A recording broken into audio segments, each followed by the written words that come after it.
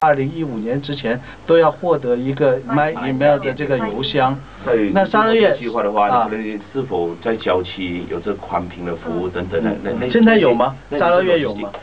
总有一些地方，你你你你也可能去过沙捞越吧？嗯一些内陆的地方的话，你开车坐了船还要走两个小时才能够到。是啊但 WiFi 很快的嘛啊，你你是不是要要投资？嗯这对这些非常。但我了解啊，我了解，在中国啊，在中国很多地区，很内陆的地区，甚至沙漠地区啊，嗯他们都有这个无线上网，政府都能把一些无线上网给到当地呃那些农牧是政府的民。长远的目标，啊希希望能都能够做到。啊不过在在基本设施在这种宽频服务的这个投资的数目来讲的话，嗯如果说有有一些区域性的住在郊区、深入在森林森林地方的，嗯他住这些地方，他也提提出同样的要求。如果国家要用很多的资源，嗯要要满足的，要要符合这几个这一小部分的要求的话，在投资成本上来说嗯，他会有必须要考量这这个投资是否是否适合，嗯是否应该请他们搬离开那个地方到城市来住。你觉得呢？啊，所以你这个你觉得应该请他们搬出来，还是？对对国家的发展来说，嗯。对人民发展来说的话嗯，我们真的是希望人民要改变他们的水平，我们也希望他们离开他们居住的地呃一些所以你是觉得你觉得是应该国家把这个资源投入到那边呢，还是希望把他们呃拉出来，从那个地方搬出来？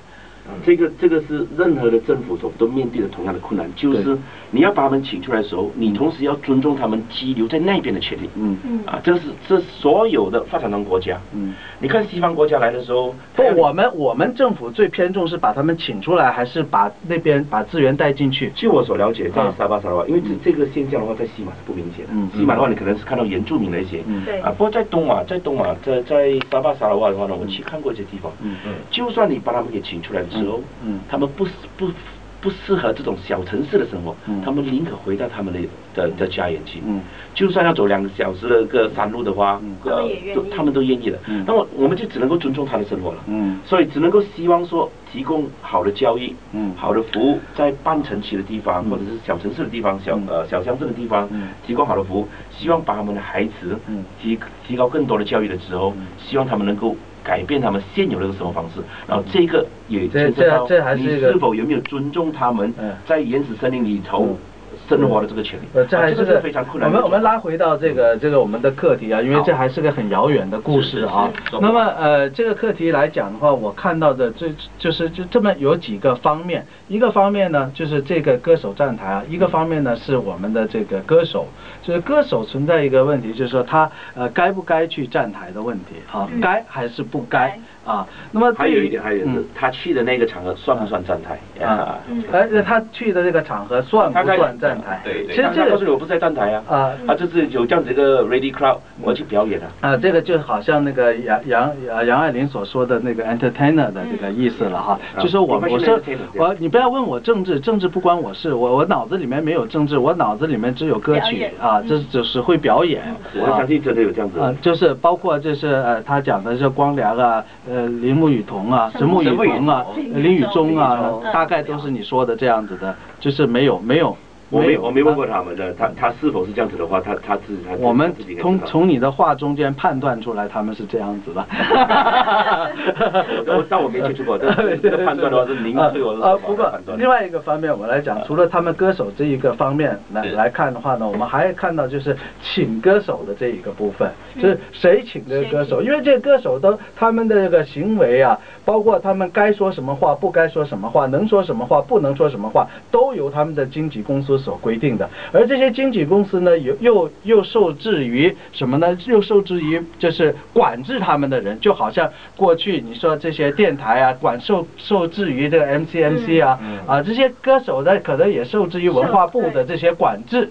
啊，所以这些经纪公司也受制于他们的管制。如果他们不遵守这个规定的话呢，他们您您是说这这这有很明显的这个条规在管制我说这个说法，我我认为这个说法我觉得是很有有很明显的条规管制经纪人的话呢，他在盘算，嗯他在盘算说嗯，我的这个艺人，我栽培的出来这个艺人，嗯流让他到这个场合去表演，对于我们的这个这个艺人的这未来的发展，或者是对他整个事业的发展，对他公司的利益的考量的话，他有不同的考量方式。我觉得我们也要尊重他的方式。他如果真的不划算，他不来这里表演，他去其他地方表演呢？他觉得这个划算，哎，这个应该好啊。或者是他有一点感情，说他是他是沙捞艺人，他他可能是跟呃某些政党的一些人物，可能是有一些亲缘关系，或者是朋友啊等等。他他觉得，哎，我要。这些都是我的呃叔伯，我跟他们很熟，他们觉得他们人也不坏呀。我我来我就来来来表演，或许我不应该公开表态支持他，不过我我他是我一个尊重的长辈，我我就来，他请到我去我就去吧。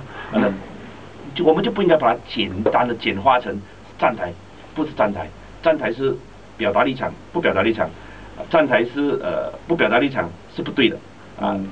就不谈是非了，因为从那道理就不谈是非。没想到你的功力那么深厚啊，再兜了那么多的圈子啊，拐了那么多的城墙的弯子啊。其实我觉得他还是，他还是有话直说了，他是有话直说。呃，其实我觉得他还是还是呃受制于某某一个呃，比如说他的经纪公司啊，对不对？他这是很明显的这一点。刚才我们跟跟这个什么呃呃 Jeff 啊，跟那个这个阿九的经纪人啊，呃，包括我们还跟这个呃黄。明志的经纪人也谈到了这个问题啊，黄明志经纪人，我们也想请黄明志就是发表一些意见呢，在这个方面，呃，在黄明志的经纪人就告诉我们，这个时候呢，他不适合发表什么意见，因为他发表什么意见的话呢，可能他会有什么什么什么什么样子的风险，而这些风险来自的什么呢？来自的都是受于受管制的机构。对不对？比如说他现在要跟这个文化部想申请贷款了，想想通过他的电影了，这些事情如果他他不能够都会受到这些影响。就是就好像我们现在报章也喜欢说啊，没办法，我们没办法表达我们的这个声音，因为为什么我们这些报章都受到出版印刷法令的约束啊，种种种之类的。报章说还还有有办法阻止你不表达方方式吗？有有有报有有不不，他非常非常明显。如果说是的，而且你通过你要。过分自立的话，过分自立的话，那那也是不，那那那是 自我设限是吧？自我设限的方式。啊，其实不不，他们他们说了，他们说，据说是不得不自我设限呐。如果不自我设限的话，这个内政部的发发发一个呃短一个信息过来，让你去喝咖啡，他们也很难受的啊。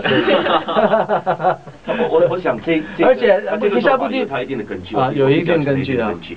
就好比啊，我们看呃呃，就像我们怀旧情的话，你看呃《马来前锋报》。前锋报的报道，你看了你是义愤填膺的，你巴不得政府把它给关掉了，你巴不得他政府说要求他，你这个东西是不能够登的。但是林善木定讲，就是中文报比这个前锋报更过分。对，这这这个呢，就是同样道理的。嗯。啊，也有从马来足球的角度来看，他是说你的中文报的某一些报纸的一些言论，或者是一些评论员的那个做法，也是跟。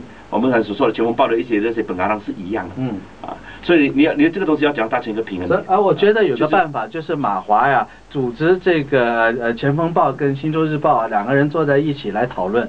讨论一下，就是怎么样搞好关系啊？互相停止休战，不要骂战。不，我想说，如果评论员提的都是个社会国家的课题，嗯，你说的是一些理性的一个诉求，是一些理念的话，嗯，呃，你说一个马来西亚人有人应该反对吗？我看不到应该反对的地方。就是我们，可是一个马来西亚如果出现了各自表述、各自诠释的情况，嗯，我们也必须要把这个东西把它拉进来，寻找最大的共同点。我们的共同点在哪里？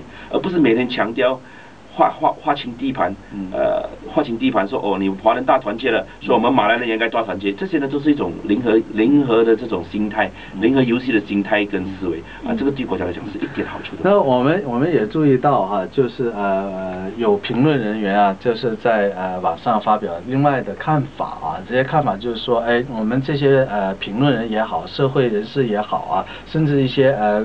官员甚至呃党的政党人士也好啊，你们不要这样子用用你们的这种所谓的道德观念去做这种道德审判，对对这个艺人做这种道德审判。你说艺人有什么想法？就是你们认为他是道德的，就是道德的；你们认为他不道德的，就是不道德的。你不要说，就是说这个艺人就是站了国政的台，对于明年的支持者来讲来讲呢，就认为这些艺人是是呃没有没有良知的，没有良心的，或者是啊。就是没有这个是非观念的。同样的，如果他呃站了这个明年的台，这是国政的支持者，也是这样子认为。我觉得呃这个评论人说的是非常中肯。